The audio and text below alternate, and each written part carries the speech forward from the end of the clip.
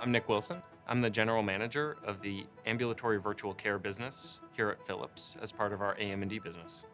So my responsibilities at Philips are really to lead the strategy for how Philips can support patients and insurance members. How do we get our solutions to their house so they can stay at home and live longer, better lives? We have really three big priorities we're working on today. Priority number one is the 35,000 people who use our services every day, making sure they're getting the best possible service to improve their own lives as much as possible. The second priority is we're working on launching a brand new platform. And what this platform is going to let us do is serve more types of people with more types of conditions, not just a particular condition.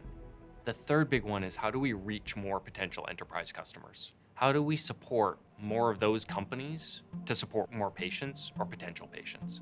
The value that we bring is we help those entities manage people before they're patients.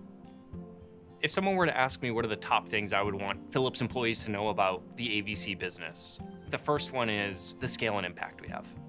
Every day, we're servicing 35,000 people, and those people, we service them every month. I think the second one is how similar in some ways, but how different in other ways our business is to other businesses in Philips. So it's a bit of a blend of our core medical businesses where we're supporting patients in hospital and our consumer health business. The third big one is it's a massively growing market. That means more people are going to need these services.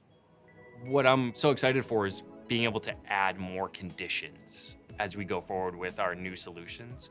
So we can address not just diabetics, not just people looking for weight loss programs, but all of the things around the patient. We want to serve those people in a holistic way to live a better and healthier life.